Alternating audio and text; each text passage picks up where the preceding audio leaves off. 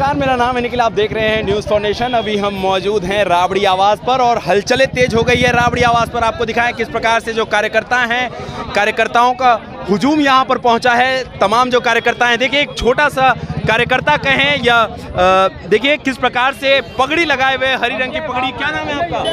बाहुबली हाँ? बाहुबली बाहुबली जी हैं बाहुबली। क्या लगता है तेजस्वी की सरकार बनेगी? बन गए हाँ बन अभी आप एक गीत गुनगुना रहे थे क्या आप गाना गा दो। गाना सुनाइए। लालू के चालू के बिहान आए मोदी तो कमर मुझा गए लालू जी के लंटल के लहरा गए हाँ। तो फिर से तेजस्वी और नीतीश कुमार की सरकार बन रही है। चाचा भतीजे क्या कहिएगा? हमारे चाचा जी ही सीएम बनने बनेंगे। हम चाचा जी सीएम बनेंगे। तेजस्वी यादव। तेजस्वी यादव देखिए, बच्चे में भी उत्सुकता देखने को मिल रही है। तमाम जो कार्यकर्ता हैं, उनमें उत्सुकता है और उत्सुकता हो भी क्यों ना एक बार फिर से पाँच साल के बाद जो चाचा और भतीजे की जोड़ी है, वो एक बार देखने को मिलेगी बिहार को।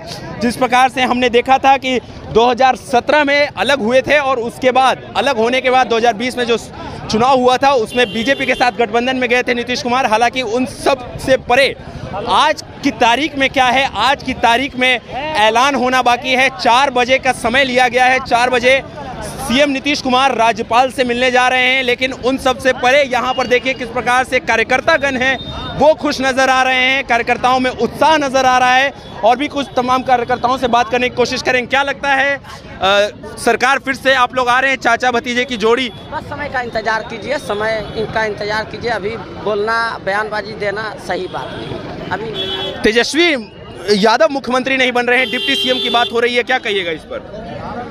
तेजस्वी यादव तो 2020 में बिहार का जनता का मुख्यमंत्री बन गया। आप कहाँ हैं? नहीं देखिए आज जो भी होगा जो भी फैसला आएगा सर आँखों पर तेजस्वी जी तेजस्वी जी का जो फैसला होगा सर आँखों पर। डिप्टी सीएम के लिए तैयार हैं आप? एकदम हम लोग तैयार हैं। क्या कहिएगा?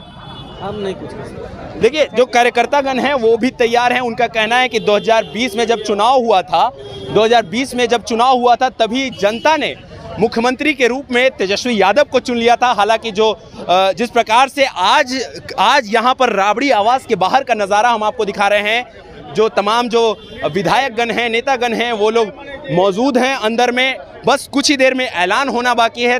तमाम तरह की जो बातें हैं, जो समझौता होना था, सारे पेपर्स तैयार कर लिए गए हैं। जो भी होना है, बस अब चंद समय बाकी रह गया है। थोड़ा सा समय शेष है और उसके बाद अब होगा सिर्फ़ और सिर्फ़ ऐलान। ऐलान बाकी है सारी अ, सारा कुछ तैयार हो गया है। बस अब देरी है। नीतीश कुमार राज्यपाल से मिलते हैं और क्या कुछ नज़ारा सामने आता है। तमाम अपडेट्स हम आपको न्यूज़ फाउंडेशन के माध्यम से दिखाते रहे हैं और लगातार अपडेट्स आपको देते रहेंगे। देखते रहिए न्यूज़ फाउंडेशन। धन्यवाद।